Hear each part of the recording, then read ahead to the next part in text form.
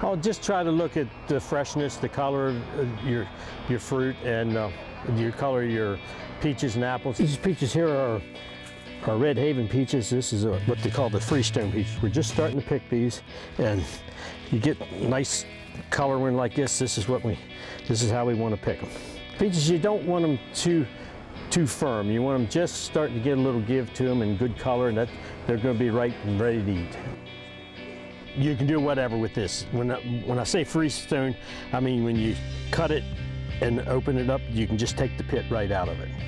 And when you're buying vegetables, whether it's nice and green and fresh looking, In Maryland, everybody loves their corn. When you're shopping for corn, what, what should you be looking for? Well, you can grab it at the top of it here and make sure it's filled out.